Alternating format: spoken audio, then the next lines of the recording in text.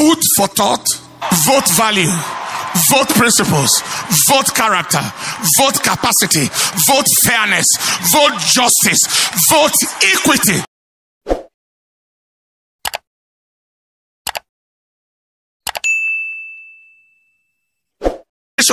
Made their choices of presidential and vice presidential candidates known.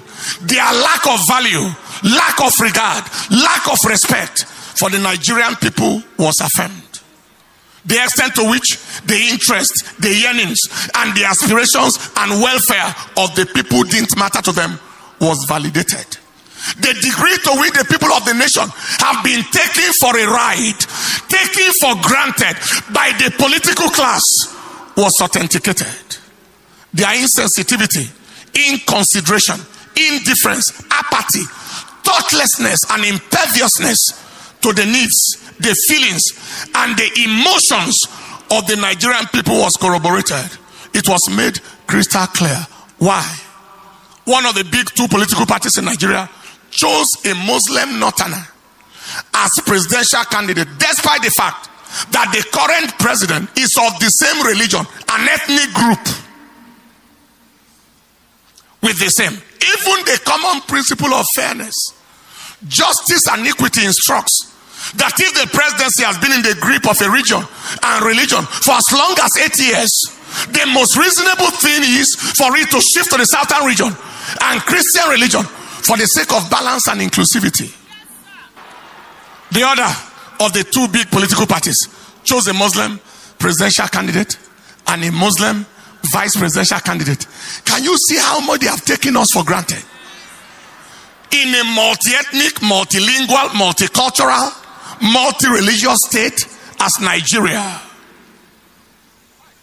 The fact is, there are 36 states in Nigeria with 36 governors, 36 deputy governors.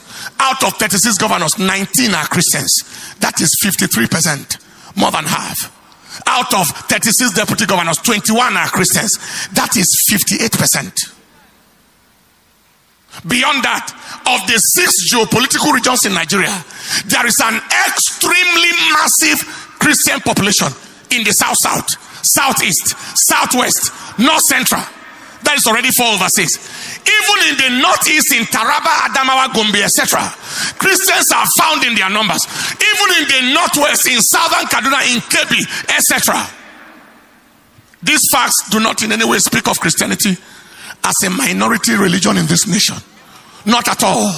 In fact, Christianity is far, very far from being a minority religion in Nigeria. People will actually be shocked when a true and realistic census is done in this nation. Yet, Christianity is despised to the point where not one person could be found to be the running mate to a Muslim presidential candidate, despite such a very massive Christian population in Nigeria. Yet, Christianity has been the victim of relentless attacks on churches and communities. We have witnessed, especially in this administration, highly lopsided, nepotistic, ethnocentric, religiocentric appointments in all realms. The conclusion is the two big political parties, as well as the leaders of our land, have shown us no value, no respect, no regard for the people of the nation. They are solely driven by personal interests and at times religious and ethnic interests. We are therefore left with no option than to totally reject the action of the two political parties.